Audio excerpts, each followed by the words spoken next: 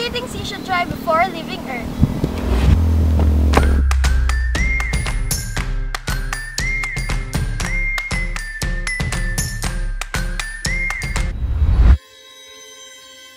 Number 1. Try to travel. Travel to a new place. Pwedeng mag-isa ka lang o kaya naman isama mo ang mga barkada. Discover new things and just be open to new adventure. Unexpected things always happen when you travel. Try something new, something unusual. We all love to eat. Kaya, why not try something new and unusual foods sa mga lugar na mapupuntahan mo? Play, maging bata ka ulit, and simply releasing yourself from stress can help you live longer. Life is short, ika nga, kaya go, play with your friends, and seize the moment.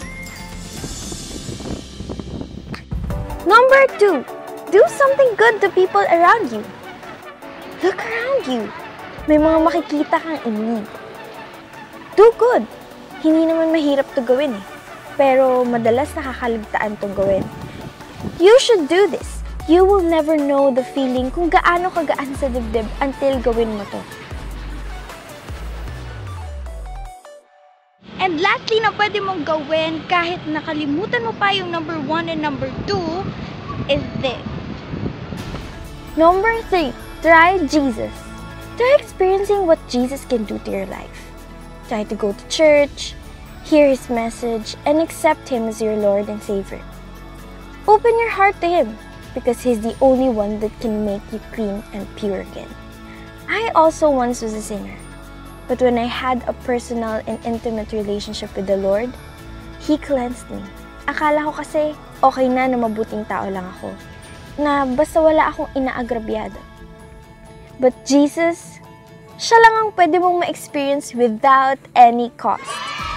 Because He already paid for the price na dapat tayo ang magbayad. Jesus died for our sins. So kung dumating man sa punto ng buhay mo na para bang walang excitement ang mga pangyayari, try Jesus.